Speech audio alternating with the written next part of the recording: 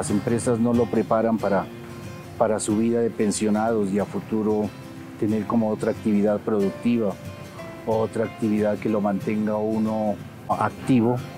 Fortunosamente ya al terminar agosto ya recibo la comunicación y entré yo al, al programa que estamos realizando de Emprendedores de Oro. Tengo un proyecto que lo estoy sacando en borrador con la ayuda de ustedes. Ya entendí hoy cómo es el camino de los emprendedores. En Pasto mm, la mayoría de la gente trabaja y los hogares son de dos, tres, cuatro personas, pero en muchos de esos hogares hay un adulto mayor que por razón de trabajo de los integrantes de ese núcleo familiar no pueden dejarlo al cuidado de alguien. En muchos casos lo dejan al cuidado de un menor, en muchos casos que yo digo es una cuestión como riesgosa para el adulto mayor, porque hay algunos ya con enfermedades avanzadas o que no pueden valerse por sí mismos. Entonces, ¿qué pasa? Las guarderías que existen son muy buenas, he, mirado como dos o tres, pero los costos son elevados.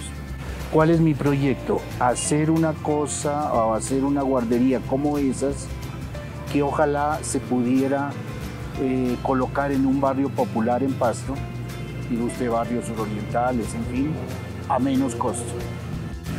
Entonces la idea es hacerla en un principio, pero con costos asequibles a una persona que se gane uno o dos mínimos y quiera tener como a su adulto mayor de casa bien cuidado con otra entidad. Me gustó mucho la forma, a nuestra manera, porque son, son emprendimientos pequeños, de pronto hay medianos, los pasos para cómo crear el emprendimiento.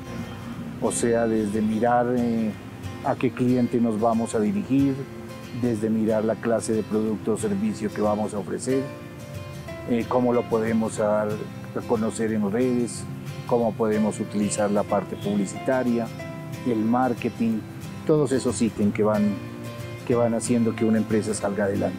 Nosotros de los jóvenes como ustedes aprendemos y aprendemos mucho, sobre todo hoy que la tecnología está muy avanzada, pero la experiencia de los viejos en cualquier empresa es importante.